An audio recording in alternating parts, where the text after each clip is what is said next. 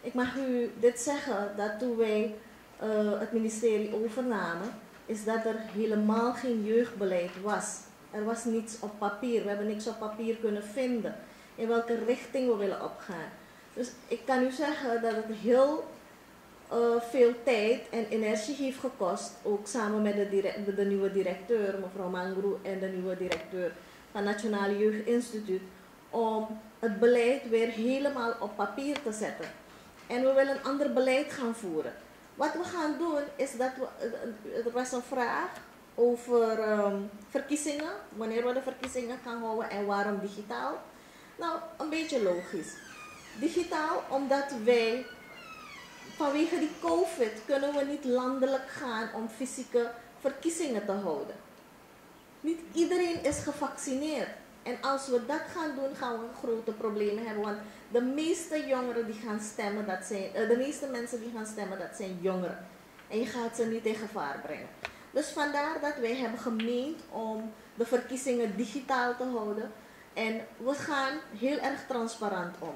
We hebben nu een, eh, een aantal offertes, we hebben aanbestedingen. Dus wij gaan, het gaat ook in de media komen. Welk bedrijf in aanmerking is gekomen of welk bedrijf de kwaliteiten heeft om die verkiezingen voor ons in orde te hebben. Ja, verder wil ik ook aangeven dat het Jeugdinstituut ook anders ingericht zal worden. Het zal namelijk zo zijn dat de jongeren die mee zullen doen aan de jeugdparlementsverkiezingen, dat deze jongeren voor ons in het veld zullen gaan. Zij zullen de problemen van de jongeren moeten identificeren. Zij moeten komen met oplossingen. Zij moeten komen met die trainingsvoorstellen. En zij moeten komen met datgene wat zij willen doen voor die jongeren en de regering adviseren daarover. Dat gaat het beleid zijn. Het gaat niet zo zijn, kijk, we hebben, de jongeren zijn de afgelopen drie jaren niet betaald. Ze zijn afgelopen week betaald voor de periode, voor hun zittingsperiode.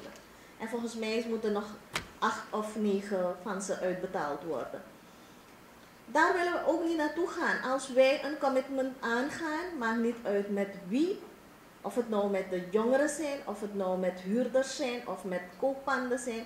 Deze regering zorgt ervoor dat zij hun beloftes nakomen. Zeker als het gaat om betalingen. We zijn geen wanbetalers, zoals dat de afgelopen periode is gebeurd.